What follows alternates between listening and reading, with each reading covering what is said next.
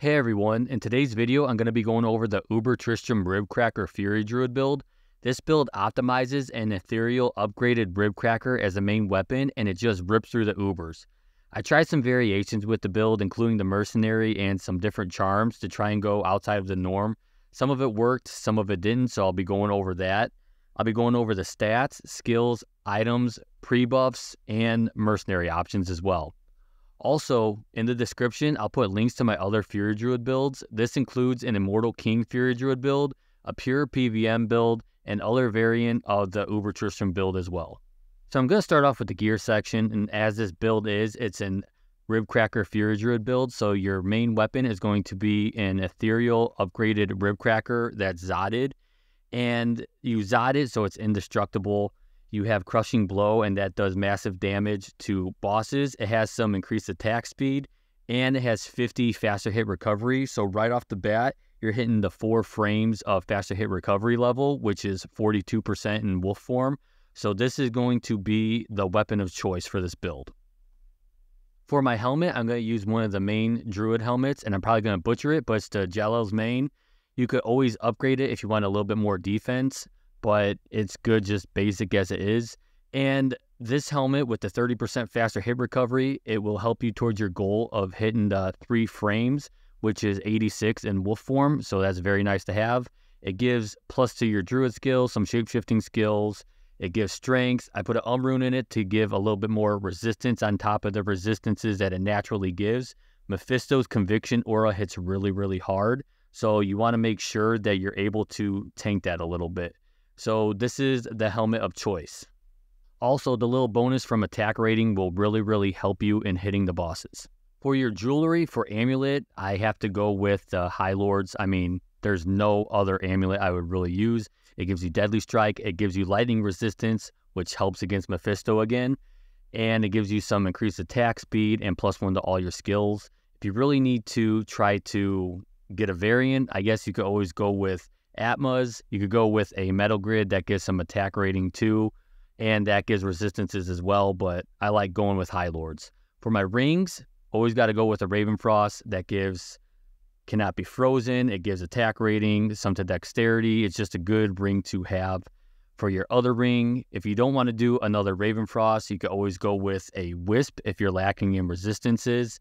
That way, the lightning absorb when Mephisto hits you, you could absorb it a little bit. You could go with a Nature's Peace. I don't think, there we go. I have one right here.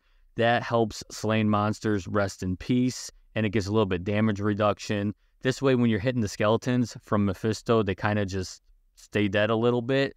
So it's up to you. There's always other options. You could always get a crafted ring or something of that nature. But if you're just going to stick to the basic of looking for uniques, then you could go with an option either two Ravenfrost, a Raven and Wisp, a Raven and Nature's Peace or something of that variant. For my gloves, I got to go with Drax. They give the life tap, which really helps out when you're attacking. It heals you. It also has some life leech. Comes with some open wounds as well, but the, the life tap is what you really need here. So there are no other options. I would go with Drax. For boots, you could go with Goblin Toe if you want a cheaper variant, but I like Gore Riders. They give Crushing Blow, Deadly Strike, and Open Wounds. So you can either go with Gore Riders or Goblin Toe. For my belt, I went with Verdungos. It gives you 10% faster hit recovery, and right there will put you at 90. So again, you're clearing the 86 threshold. It gives you life and it gives you some damage reduction as well. If you want to use a different belt, you could always get a shape shifting Grand Charm with 12 faster hit recovery on it and then swap this out with maybe a Thunder Gods. I would go with a String of Ears for a backup version of a belt, but for this build, I'm going with Verdungos. For my armor for this build, I went with Chains of Honor. It gives plus two to the skills, but I really got it for the resistances, and it gives a little bit of life leech, some strength, but really just for the resistances and the physical damage reduction. If you have good resistances and you have like, let's say, some resistant small charms, or you pre-buff with the treachery, then you could wear Fortitude. That gives you some more damage. It gives a little bit of resistances, gives you some life, and some extra damage. So this is a good alternative. It just depends on which one you want to use. You can either use Chains of Honor or Fortitude. For my charms, I purposely left some blank spaces just to show that I'm not overpowering on everything maxed out. So here I have three shape shifting lifers, 40 life, 45 is perfect. And then I have a physical Sunder charm here. Here I have five 20 life, five resistance small charms. You could always get variants of this. You could alternate them with 20 life or single element resistances they go up to 11 and you could just put them in the blank spaces just to reach the same level stats that I have with this build.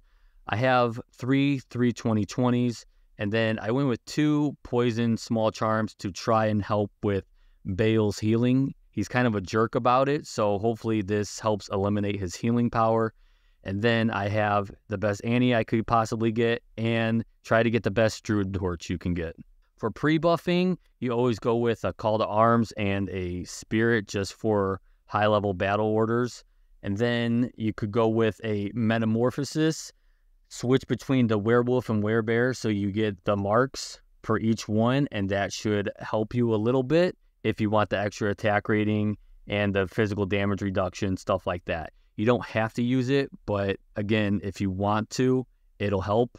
You could always put on a treachery, go to let's say Frigid Highlands and get fade casted. That way you get a little bit more resistances. And you could go with a demon limb for a level 23 enchant to get a little bit more extra attack rating, which will help you hit the bosses more. Again, you don't have to, but this will help you optimize your character. For my mercenary, I tried to do something different. It really didn't work out too well, but I'm just going to give you what my thought process was. So I went with an Act 3 Fire Mercenary. I really like the Act 3 Mercenaries. I know they suck, but I just want to try to bring some vitality to them and they just they they're garbage. But I tried getting a high level enchant to try to get away from using the demon limb. This gave me about three or four thousand more uh, attack rating with this. So I had an Act 3 mercenary with a an Eth Spirit, an Eth Chains of Honor, a Flickering Flame, and then I put a Hexfire on him to try to get as much high level enchant as I could. Again, this is not optimal. I tried it and it was just, he dies too quick. So a good variant would be an Act 1 mercenary with Faith. She survives pretty decent for me. I've tested it, I've tried it and it just works. The fanaticism really gives you more damage and helps speed up your attacks. So that's really nice to have here. So if you're looking for an alternative to the Act 3 Mercenary, which I tried and it's not normal, go with an Act 1 Mercenary with Faith if you can. If you can't get a Faith with that, go with an Act 2 Mercenary with Might to give you a little bit more damage as well. So those are the options for mercenaries. Again, the Act Three, I just tried something different and it really just sucked. So for my stats, I put enough strength to wear my heaviest item, which is a Spirit Monarch, which costs 156.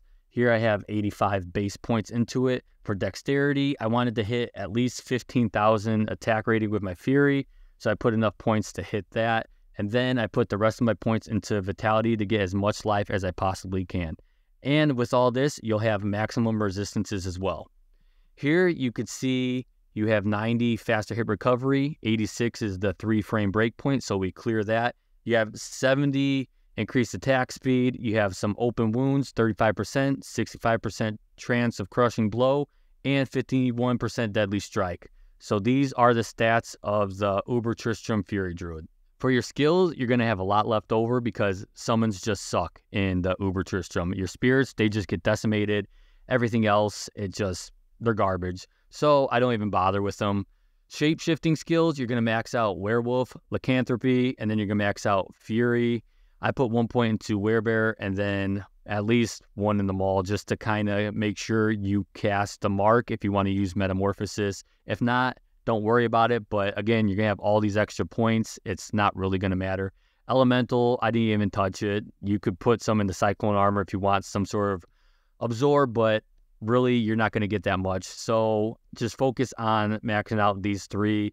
And if you want to try to get a grizzly or something to help with a tank, you go for it. But other than that, it's pretty much useless. And this is my Uber Tristram Ribcracker Fury Druid. I hope you guys enjoy it. I hope you at least try it out to see how you like it. I have a gameplay video up as well. And I'm also going to end this video with a Uber Tristram run. So again, thank you for checking out my video. Check out my other Fury Druid builds in the description below. And I will see you guys in the next video. Thank you.